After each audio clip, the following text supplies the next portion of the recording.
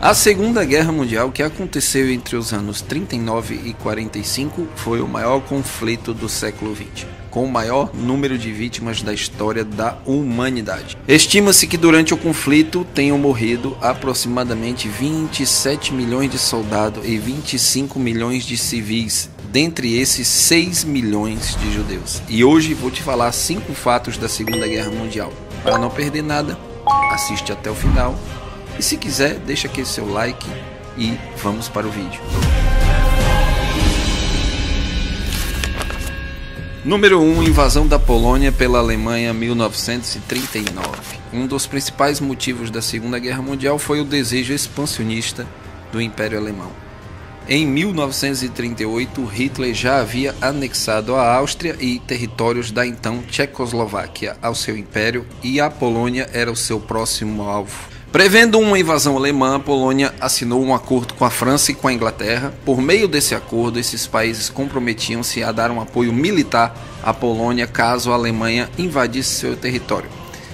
Em 1 de setembro de 1939, as tropas alemãs invadem o território polonês e iniciam os combates. O exército da Polônia não era bem equipado e não conseguiu resistir aos ataques, tampouco pôde contar com o apoio da França e da Inglaterra, como previa o acordo. A vitória alemã nessa invasão deveu-se a sobretudo à sua estratégia de guerra relâmpago chamada Blitzkrieg, uma tática inovadora que combinava ataques por terra e ar. Dois, somente dois dias depois dessa invasão, Inglaterra e França declararam guerra contra a Alemanha e inicia-se oficialmente a Segunda Guerra Mundial.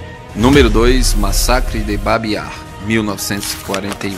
Nos dias 29 e 30 de setembro de 1941, um fuzilamento em massa durante cerca de 40 horas deixaria quase 34 mil pessoas mortas na cidade de Kiev, na Ucrânia, durante a ocupação nazista na cidade. Kiev era conhecida por sua grande comunidade judaica e o nome do massacre refere-se ao local onde o fuzilamento foi realizado, uma ravina chamada Babi Yar. E aí, tá gostando desse vídeo? Esse vídeo é um vídeo especial sobre a Segunda Guerra. Dá um trabalho enorme, então se você quiser se inscrever, deixar seu like e se puder assistir até o final, vai ter uma grande surpresa para você no final. Então acompanhe esse vídeo todinho e vamos continuar.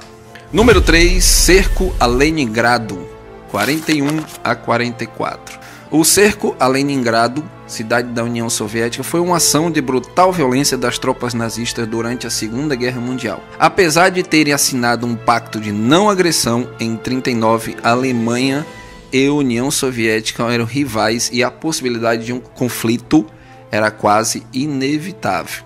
O primeiro ataque de Hitler à União Soviética foi a Operação Barbarossa em 41, quando cerca de 3,6 bilhões de soldados da Alemanha invadiram a União Soviética.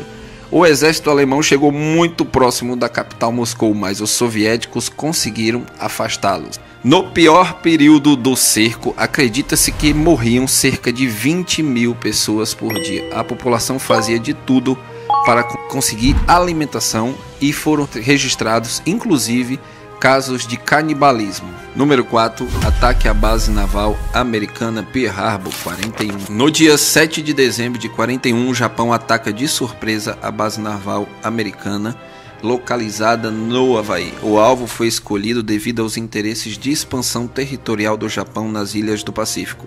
Esse ataque causou cerca de 2.500 mortes. Porém, o objetivo da ação, que era a destruição completa da base naval, não foi alcançado. Muitas embarcações americanas foram danificadas, mas a indústria naval dos Estados Unidos conseguiu recuperar as percas em pouco tempo. A partir desse ataque, os Estados Unidos declararam oficialmente guerra ao Japão, que só se encerraria com a rendição do Japão após os ataques de Hiroshima e Nagasaki. A invasão da Normandia, dia D, 1944. A invasão da Normandia, costa norte da França, aconteceu no dia 6 de junho de 1944. Parte da França estava tomada pelos alemães e essa invasão foi feita pelos países aliados com o intuito de que as tropas alemãs recuassem. Nesse dia, conhecido como Dia D, cerca de um milhão de soldados, aproximadamente um milhão de soldados dos países aliados entraram no território francês pelas praias da região da Normandia. A vitória dos aliados nessa invasão se deveu ao fator surpresa. Os alemães estavam imaginando a invasão do território, porém enganaram-se quanto ao local por onde isso aconteceria. Além disso, o general Eisenhower dos Estados Unidos recebia informações através de espiões interceptadas dos nazistas, o que facilitou o ataque. Esse episódio, junto com a Batalha de Stalingrado, foi um dos marcos do início da vitória dos aliados no conflito mundial. E aí, chegou até aqui e está gostando desse vídeo? Agora você vai receber um bônus, que é nós vamos falar um pouco sobre o Brasil na Segunda Guerra Mundial. No começo da Segunda Guerra Mundial, o Brasil optou pela neutralidade. Getúlio Vargas governava o país como ditador desde 37, quando deu o golpe de Estado. Apesar da simpatia que ele e integrantes do governo tinham pelo nazifascismo, no primeiro momento a neutralidade prevaleceu. O Brasil, como tinha acordos econômicos com potências europeias e qualquer posicionamento brasileiro poderia comprometer esses acordos. A situação passou a mudar a partir de 1942, quando o presidente norte-americano Franklin Roosevelt visitou o Brasil e teve um encontro com Vargas em, no Rio Grande do Norte em Natal. A base aérea da capital potiguar era extremamente estratégica para os aviões aliados deslocarem-se pelo Atlântico e atacarem o eixo no norte da África e em seguida no sul europeu.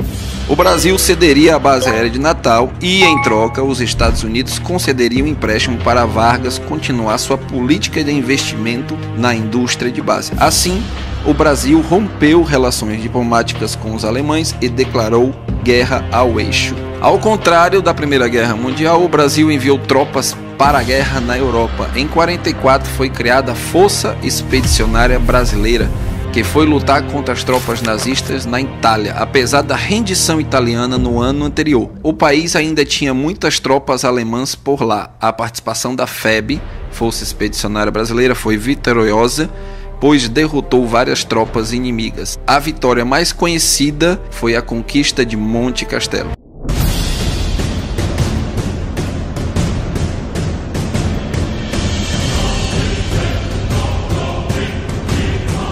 E esse foi nosso vídeo de hoje sobre a Segunda Guerra e fatos que aconteceram. Se gostou, você já sabe, não precisa nem estar, tá, já falei duas vezes aqui no vídeo, então